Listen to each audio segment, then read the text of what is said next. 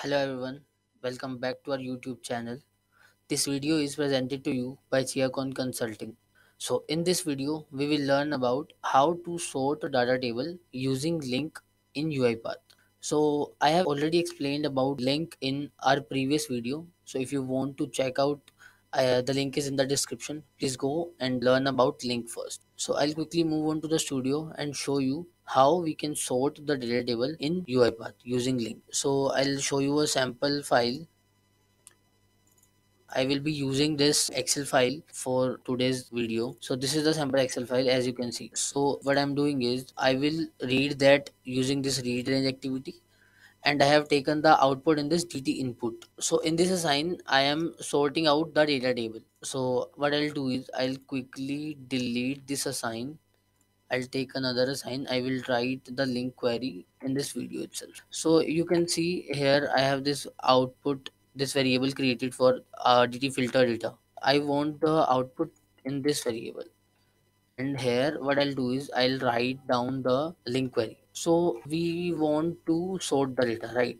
So I'll do is from and now I will provide the data table which is DT input right?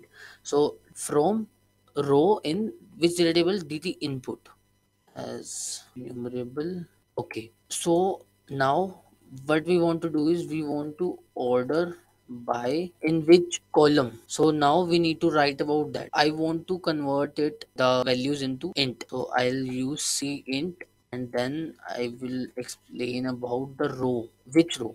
The item of now i will write down the calories. So this calorie is one of the column in our input data now what do we want? I want the data in ascending order and uh, i need to select all the data. Now i will do is i will copy to so like from row in this table so this is the input table in this table i'll pick a row. I'll order and i have converted this uh, the row data of this column in integer. And then what i'm doing is i am converting it into this ascending order and copying it to a table. So I'll again show you the input data. So I have already shown you the input data. Now I will write down the output data in the same file but in another sheet which is this ascending sort. The data table is DT filter data. So let me just quickly debug the bot.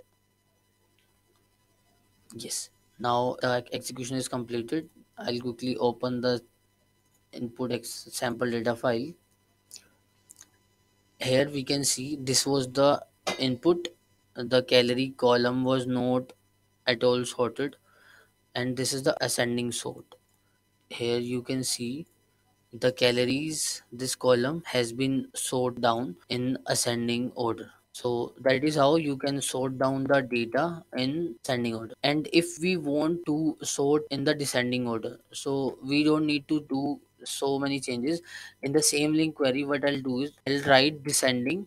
So now this will sort it in the descending order. So i'll also change the sheet name which is i will do is des sort. So it will write the output in uh, another sheet so that it will be easy for us to see the output. I'll quickly debug the bot. Now it will run this LINQ query.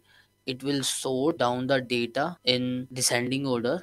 And uh, yes so this was the input. This was where we change it to ascending and this is where we change it to descending order. So that's how you can sort down the data using LINQ. I hope this video will be helpful for you all. If this video is helpful for you all please like this video leave a comment and subscribe to our youtube channel. Thank you very much